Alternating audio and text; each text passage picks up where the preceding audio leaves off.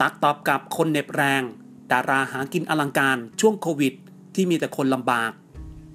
ตอบกลับคอมเมนต์ครับเหน็บดารารับงานอลังการในสถานการณ์โควิด -19 ที่มีแต่คนกำลังลำบาก ตั๊กศิริพรอยู่ยอดครับโพสต์คลิปฮาๆและภาพ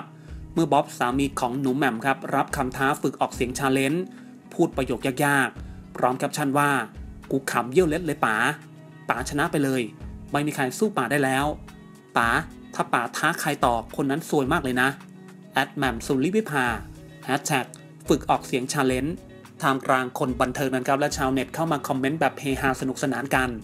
แต่มีคอมเมนต์หนึ่งครับเข้ามาบอกว่า น่ารักกันดีค่ะ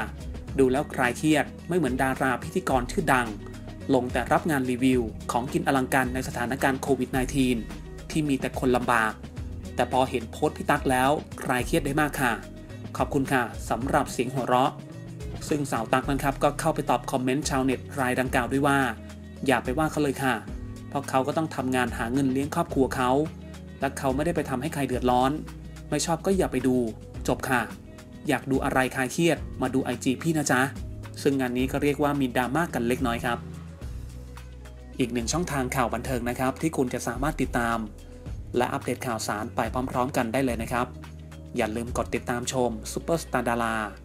แล้วก็อย่าลืมเข้ามาติชมหรือคอมเมนต์มาร่วมแชร์ร่วมแสดงความคิดเห็นกันได้เลยนะครับ ที่สำคัญครับต้องขอกราบขอบพระคุณทุกท่านมาก ๆ ด้วยนะครับ ที่เสียสละเวลาในการติดตาม รับชมรับฟังกันด้วยนะครับ